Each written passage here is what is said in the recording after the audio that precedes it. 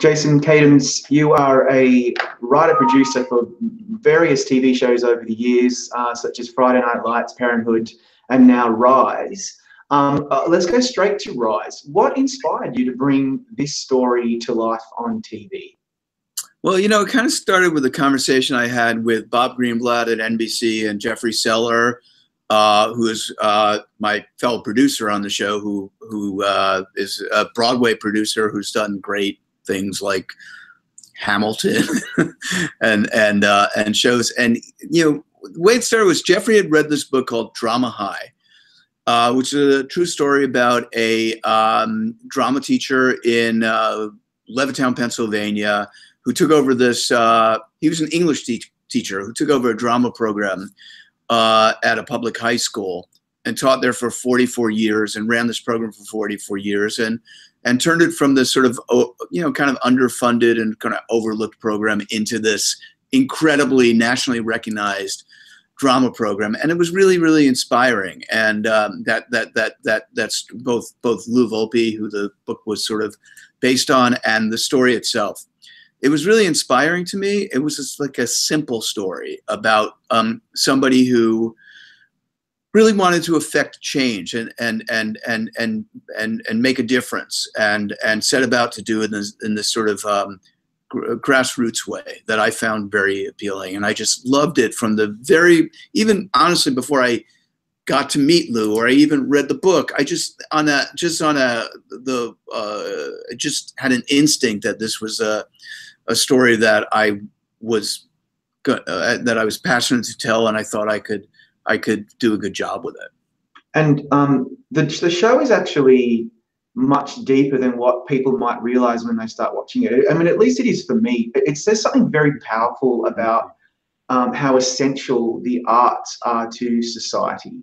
Talk right. us through that aspect of what that show represents.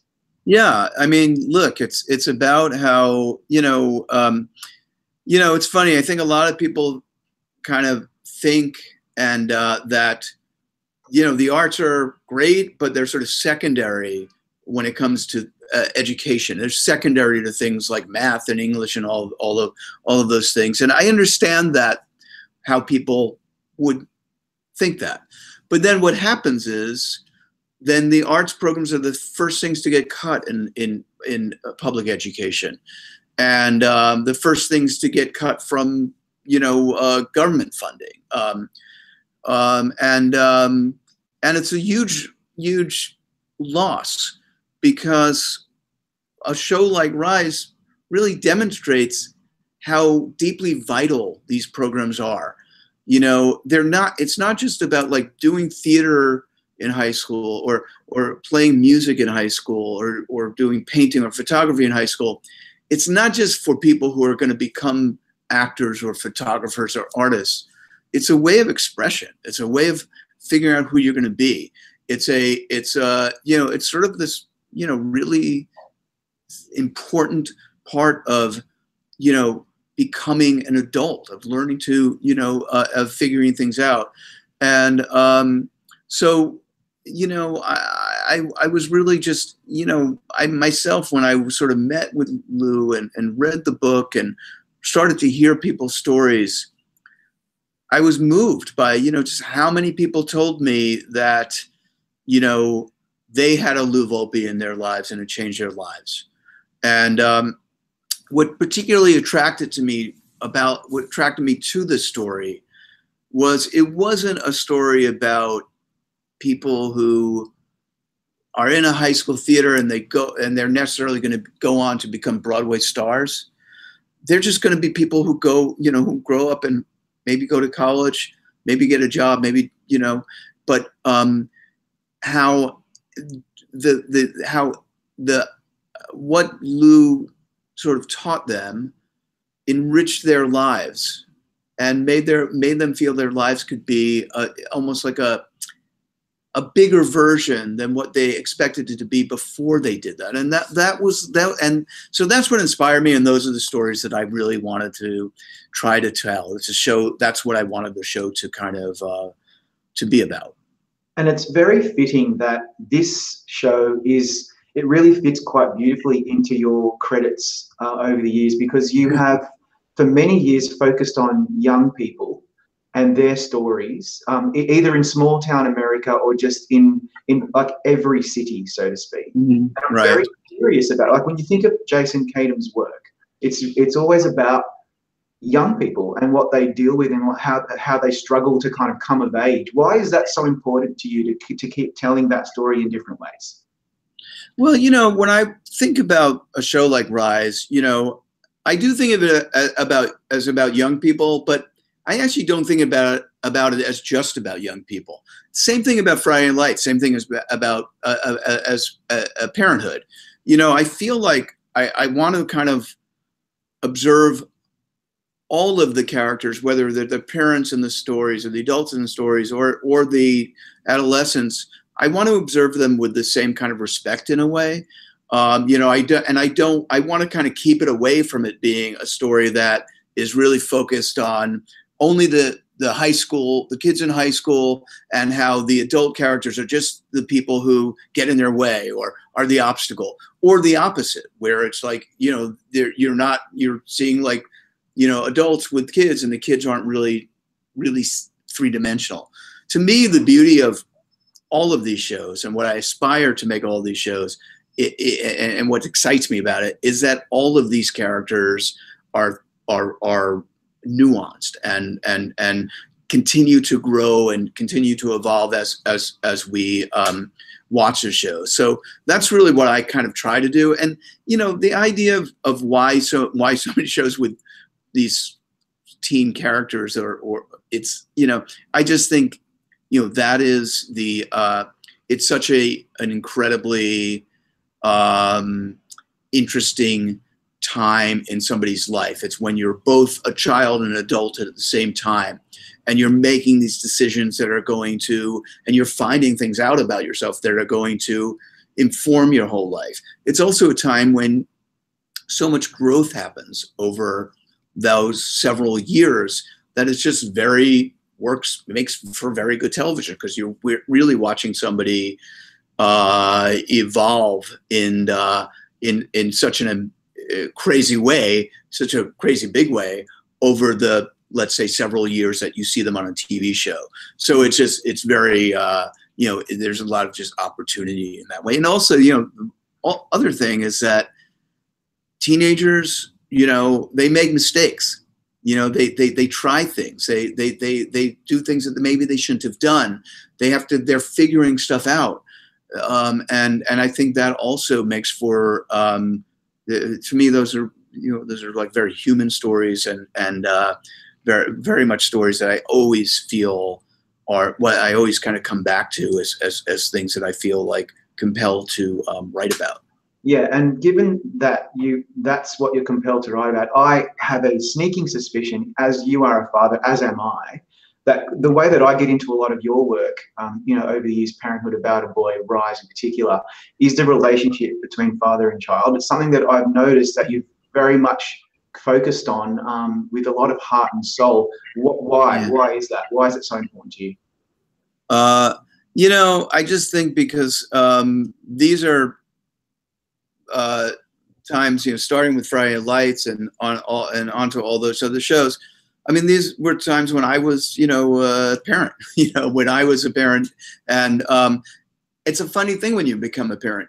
You see things from both angles. Like I could, you know, you start to really understand what it's like to be a parent and, and the joys of that, the sometimes wrenching parts of that.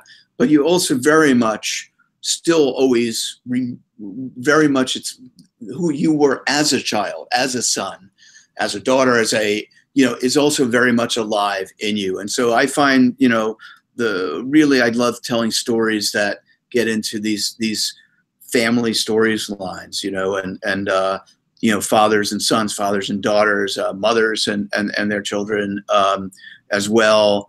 Um, I just find it very moving, you know. Honestly, I just find it very moving, um, both in life, you know, when I talk to when I look talk to my wife and we we like are figuring out our parenting stuff and talking to friends I find that to be the stuff that is compelling, right? And it's like there aren't many TV shows that are just about that, you know, um, just about the relationships. And I've been very lucky, I think, to be able to do shows that have really been focusing on these sort of, uh, you know, those sort of seminal, um, you know, kinds of um, relationships, family um, structures, and and friendships, and all of those types of things. And to me, that's the stuff that we wind up that that is at the end of the day you know what's important to us um, as people what we what we're constantly thinking about what we're you know trying to um, you know you know figure out in our own lives and that's you know obviously it's very um, easy not easy to write about it but there's there's just constantly material because you're drawing from your own life and you're drawing from the lives of you you know the writers that you get to work with. And um, and and you know these are that's kind of the way you sort of try to make these stories feel uh, relatable and, and, and, kind of personal. So when i first um, started watching rise when it premiered i was really like surprised by the casting. I thought okay this is this is a gamble that you and the producers and you know and the, the team have taken with certain people that we attach with other projects like josh for example you know how i met your mother and moana and things like that. But as we i think we're almost at episode eight now so we're almost at the end of the season and, and for me it, obviously the casting has worked really beautifully. So obviously that was a very difficult challenge though i, I expect to find the right people for those roles yeah. like any show. But do you have any particular challenges that you faced in the casting well, you know, I, I think, you know, um, the casting of this show was, there was something charmed about the casting of it, you know. Um, we were, we just went with our instincts a lot. You know, we worked with Bernie Telsey and company, his, that casting. Uh, well, I've never worked with Bernie before with, and, and his, he and his team just, they're such an incredible, um, you know, um, casting agency and they have you know what what was wonderful about it was they have um, offices um, both in Los Angeles and in New York, and and um, and so it was great because during pilot season we were able to like simultaneously kind of find you know uh, simultaneously cast on both coasts, and it was very important for this show because there were so many because of the musical aspect of it. We were leaning very heavily into the um, you know, uh, sort of theater actors, especially for the younger roles and the ensemble. So they tended to be in New York. And yet finding our lead, you know, uh, somebody like, you know, Josh was, was, was, was here. Um, so it was really just, you know, I would say it, it wound up being this very, everything fell into place. We went with our, uh, the, as the producers, we kind of, and director, we went with our, gut and our instinct about people um, um, you know when they seem to connect with a character in a certain way. And um, i love this cast so much. I mean i just it's one of the things that makes it such a joy to do this show is there's a particular it's oh you know i mean i've been lucky to work with such great actors and always have casts that were yeah. you know um, so so invest in the material but there's something particularly about this material because the material is so close to so many of the actors in the show. Rosie Perez, for example, has spent the last 26 years, um, her real passion in life has been working in this nonprofit where she's been helping students, um, high school students and teenagers from, um, you know, um, um, in challenging situations and, and teaching them the arts. And this has been her life. So when she saw this character and she saw this role she was like oh this is me. This is my role you know um, and when you know she came in and talked about it and auditioned for it and read for it there was no question about it. You know when i sat down and talked with to, to, to josh about it you know we had a, a you know like a meeting to talk about about it. And it became a conversation about not so much of I mean it started with talking about the role in the show, but it really became about like how much we believed and, in the idea of putting this out there in the world, putting this story out there in the world right now. And um, so it's just like that was one of the things that was that's been such a wonderful experience is, you know, everybody seems to have such um, um, a, a, commitment to telling the story in the cast from Josh and Rosie to every member of the of the younger cast and the, the ensemble, and that's been really really um, made it wonderful. And yeah. you know, one of the things I like about the shows that um, I, I do is like I, I really love this the the sort of the big ensemble, you know, and I, I mean that I think that's true of definitely true of Friday Night Lights and definitely true of Parenthood and definitely true of Rise. I love that. I love having like multiple storylines going on at once, you know, lots of balls in the air. And I think what I'm excited about, like, because you were talking about now getting to the seventh and eighth, eighth episode of the show, what starts to happen, and it's happened on Friday Night Lights and it happened on Parenthood, and I feel it happening on Rise, is there's a certain point around episode five, six, seven, where it really starts to just like um, go on, you know, like like like catch fire, you know, because you have all of these characters that in the pilot you're like trying to keep up. Wait, this one is this one's daughter, but he's having an affair with that one, but blah blah. And you're trying to like re- keep track of it and I understand that's challenging, and and I in a in a weird way that might be like problematic in a way because it's sort of like the first couple of episodes, you know, you're you're kind of trying just trying to catch up, but I think it just has it just basically it's it it it leads to such powerful storytelling because once you really get invested in all these characters, it's very exciting, and I feel like um, that was you know one of the things that I felt you know so exciting about doing the show is you know we started doing a storyline that started in episode six with this character Sasha, where you reveal that she's pregnant, and um, this actress. Um, Erin, who, who who who is such a wonderful actress, but up until up until episode six, you know, she was just in the ensemble, and you don't really hardly, you know, maybe a few lines here and there. You really didn't get to know her, and that's exciting.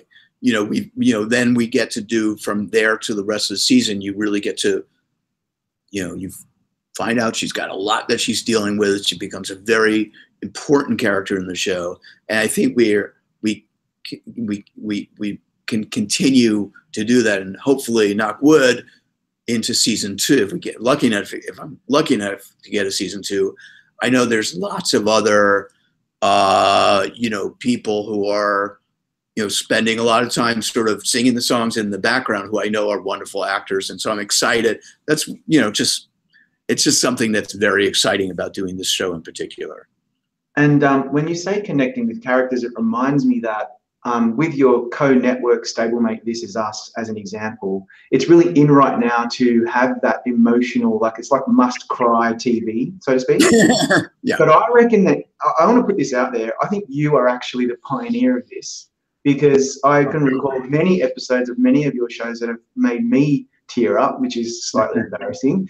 And I'm wondering, given, I mean, you've talked at length about connecting with characters, but is there another secret to how you're able to really kind of gut punch the audience with things that really mean something to them, maybe because they're seeing themselves? I don't know. What do you think? Why do people cry so much at your shows? Um, I that's funny. Um, I don't. I think that um, it starts in the um, the breaking the stories in the writers' room, and that's really where I think I think that element of it really begins.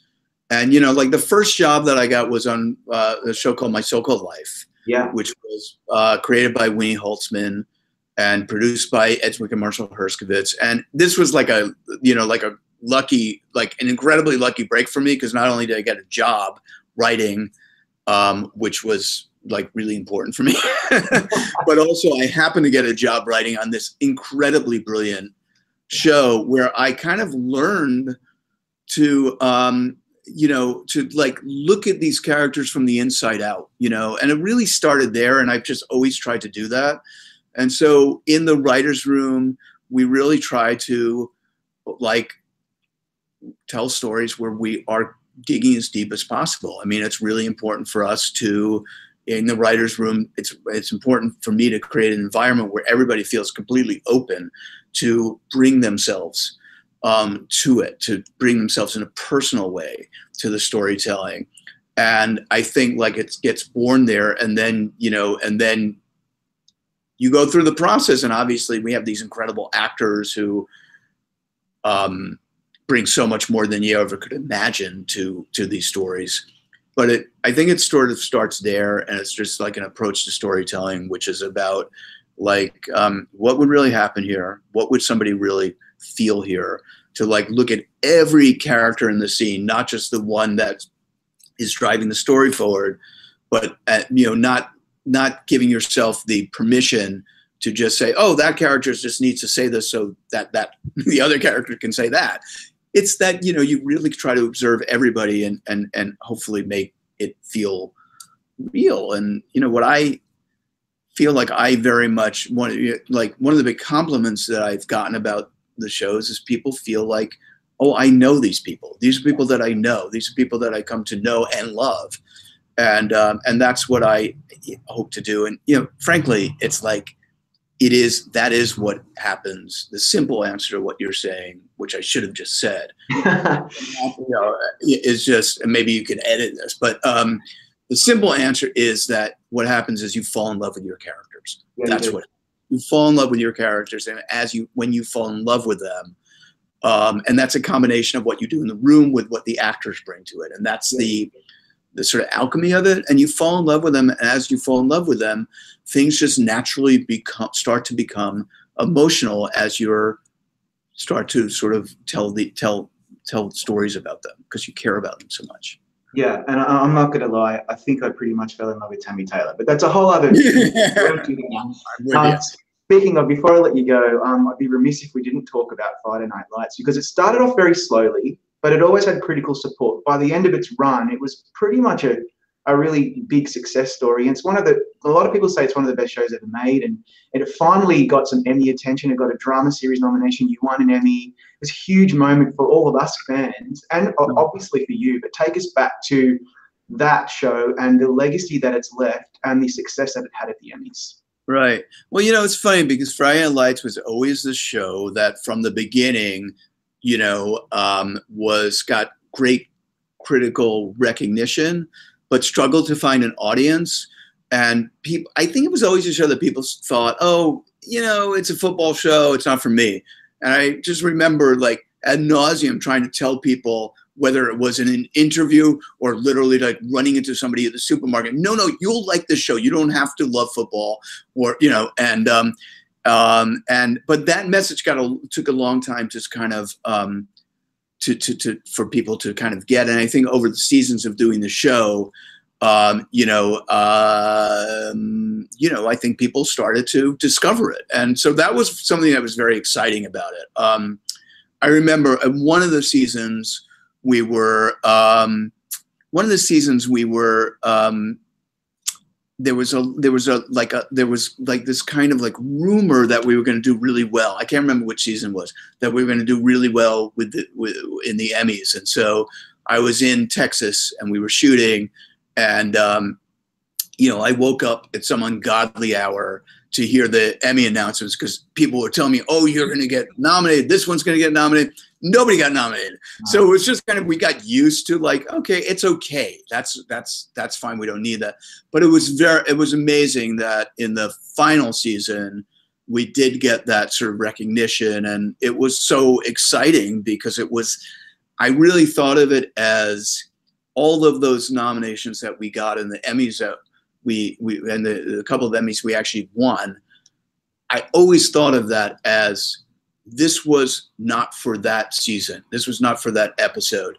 This yeah. was for the entire series, and that made it really, honestly, extra special to me. I felt it was like this well-earned um, acknowledgement, um, you know, after um, all this time. And you know, of course, you know, Friday Lights is you know this underdog story you know that so it, it's kind of appropriate in a way that that's the way it kind of worked it, with with with um, you know sort of the awards recognition as well. Yeah and and now you're on rise which is also typically an underdog story and good luck with that. Congratulations and we you never know it might be on the same trajectory. Thank you jason for your time. I really appreciate it. Thank you so much. Appreciate it. It's really fun talking to you. Thank you